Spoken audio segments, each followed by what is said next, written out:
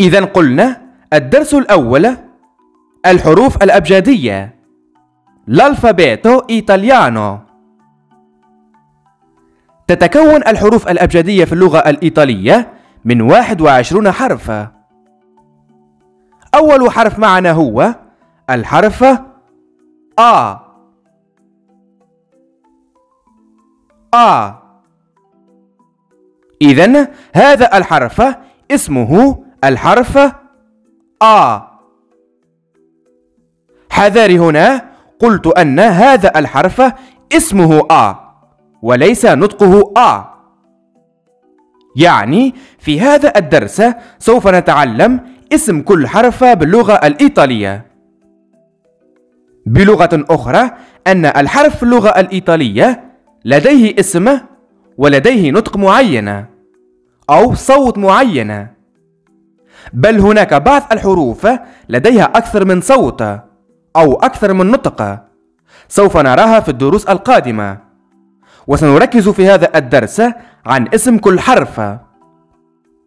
إذا قلنا الحرف الأول اسمه الحرف آ.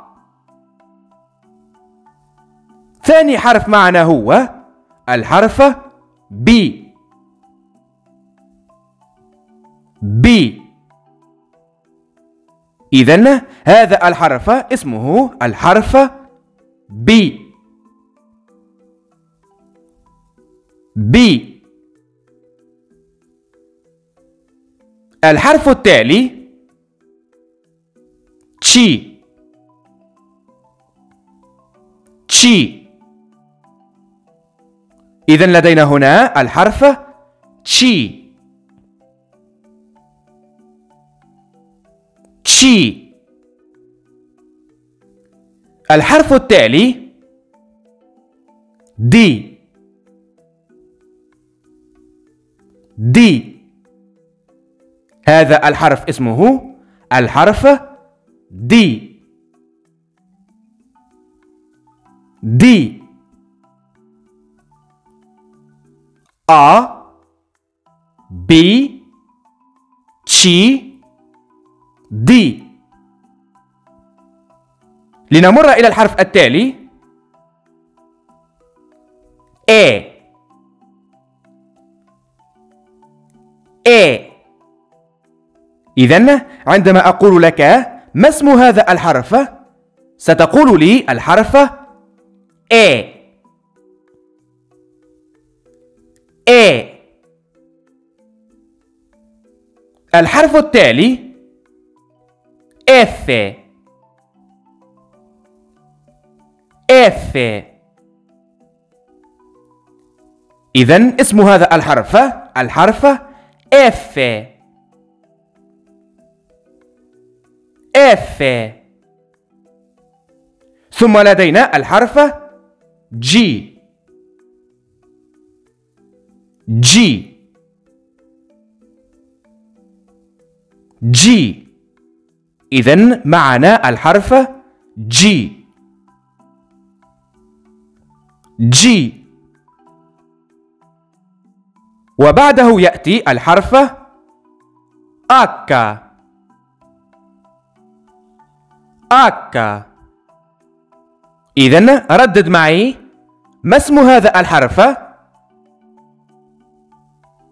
نعم الحرف H H الحرف التالي E E هذا الحرف اسمه الحرف E ردد معي. E ثم يليه الحرف L L. L. إذا لدينا هنا L. ولدينا الحرف M. M. ام هذا الحرف اسمه الحرف ام وهذا الحرف اسمه الحرف ان ان ان إذا ما اسم هذا الحرف؟ نعم هذا الحرف اسمه ان ان ثم لدينا الحرف أو أو أو إذا لدينا أو أو. الحرف الذي بعده الحرف بي بي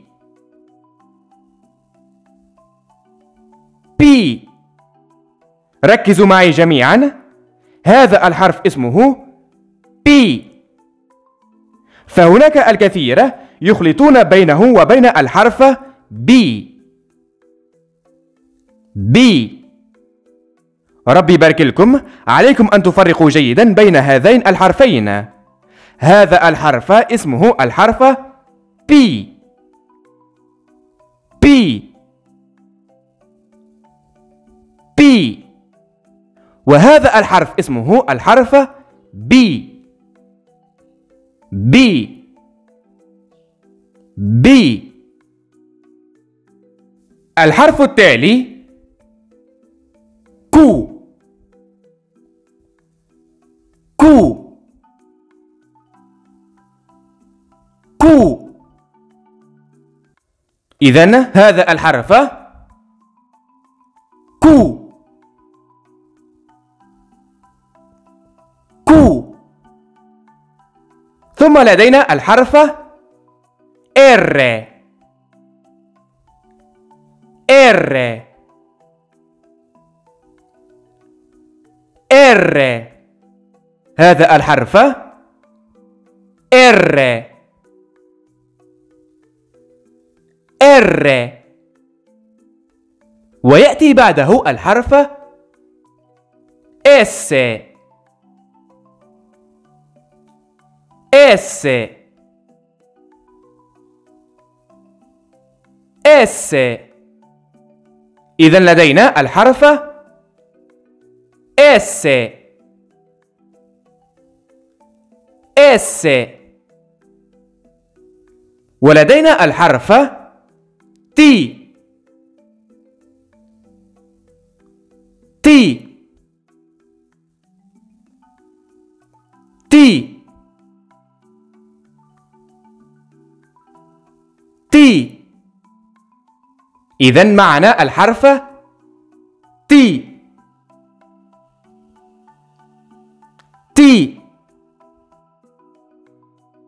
ثم الحرف أو. أو. أو. هذا الحرف أو. أو. ردد معي. أو.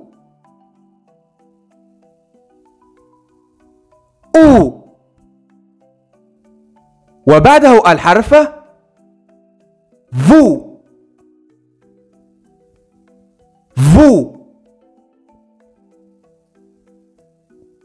فو هذا الحرف يمكن أن نسميه فو وكذلك في في في إذن فو أو في وآخر حرف معنا هو الحرف زيتا زيتا زيتا زيتا زيتا إذا ما اسم هذا الحرف؟ نعم الحرف زيتا. إذا لنعيد معا جميع الحروف مع بعض. أ. أ. بي. بي. تشي تشي دي دي اي اي اف اف F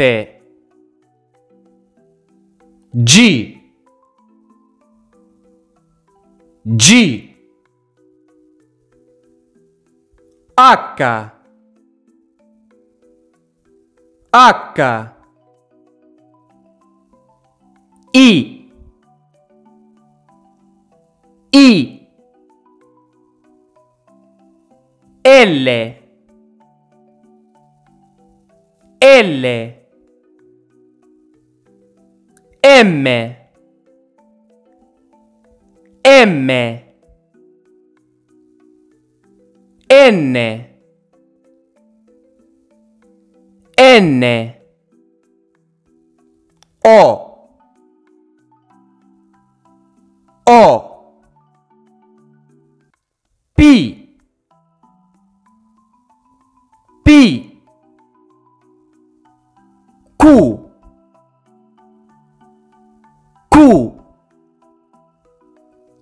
R. R. S. S. T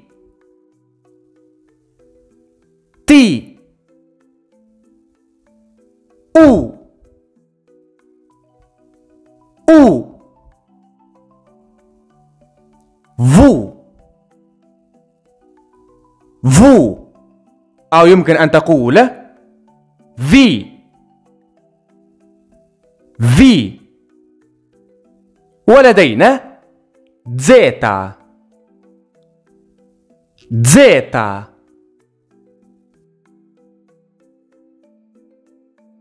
إذا قلنا الحروف الأبجدية واحد وعشرون حرفا حيث أن هذه الحروف تنقسم إلى قسمين. القسم الأول تسمى الحروف الصوتية أو الحروف المتحركة. والقسم الثاني يسمى الحروف الصامتة أو الحروف الساكنة. إذا لدينا قسمين. القسم الأول الحروف الصوتية. القسم الثاني الحروف الصامتة. بالنسبة للحروف الصوتية التي تسمى باللغة الإيطالية ليفوكالي ليفوكالي عددها خمس حروف. هذه الحروف هي أ. أ. إيه.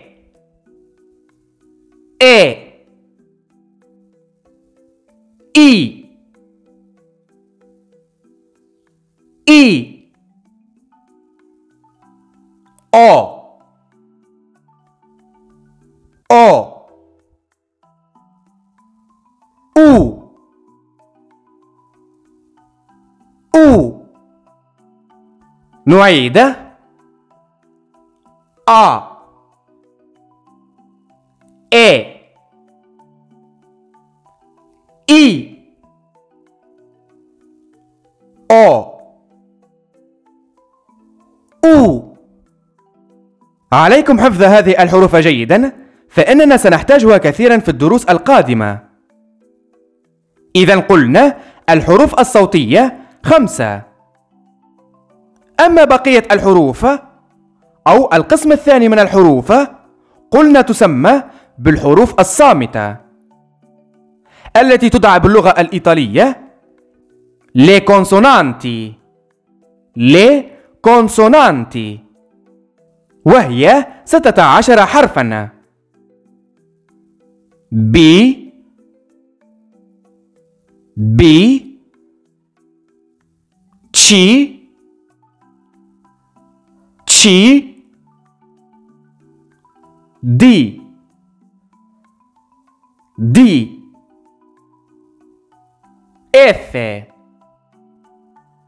F. G. G. H. H. L. L. M. M. N N P P Q Q R R S S T T. Vous. Vous. Zeta. Zeta. الآن لنحاول اختبار ذاكرتك لهذه الحروف. كيف تكتب هذه الكلمة الإيطالية؟ ستيلا يعني سنسمي الحروف الموجودة التي تكون هذه الكلمة ستيلا. إذن هذه الكلمة تتكون من الحروف S T E L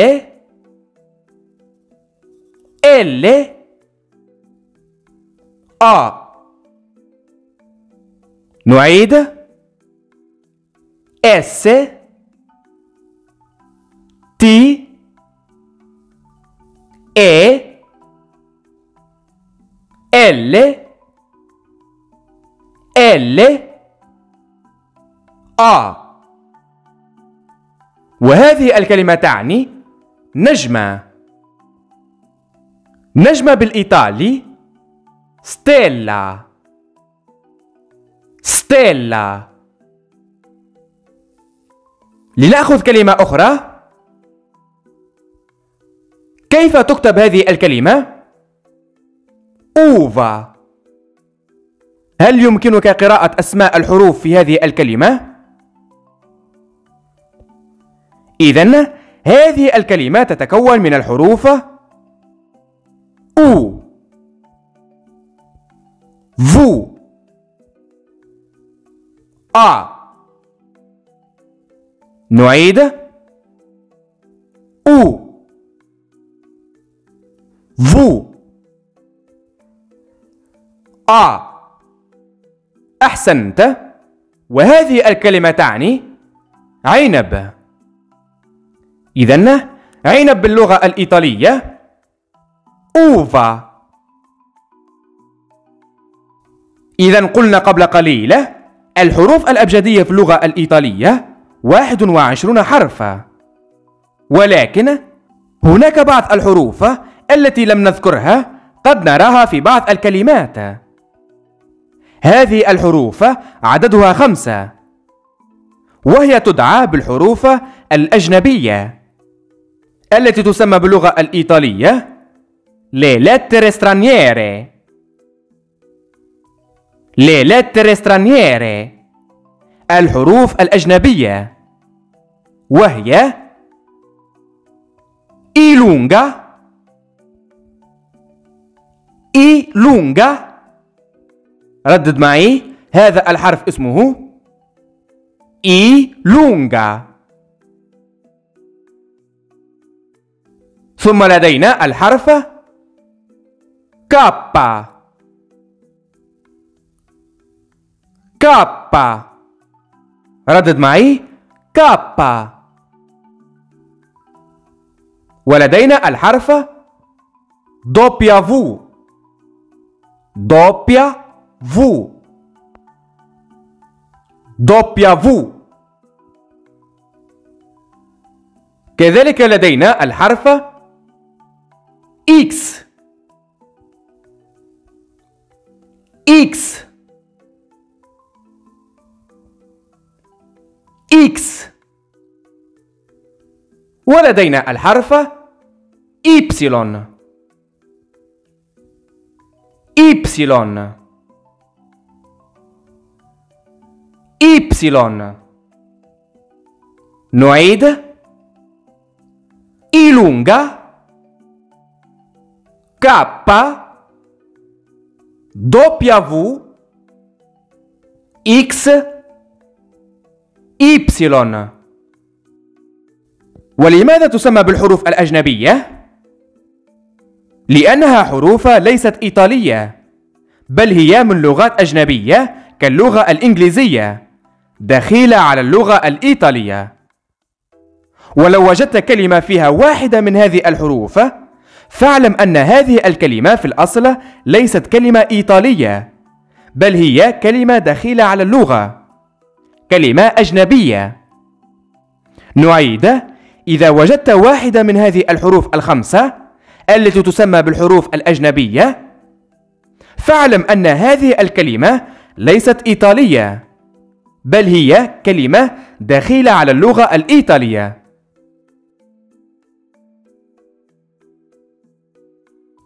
إلى هنا نكون قد أنهينا درس اليوم. إن أعجبكم الدرس أرجو أن تدعمونا بالضغط على زر الإعجاب. شكرا على المشاهدة. انتظرونا في الدروس القادمة إن شاء الله. السلام عليكم ورحمة الله تعالى وبركاته.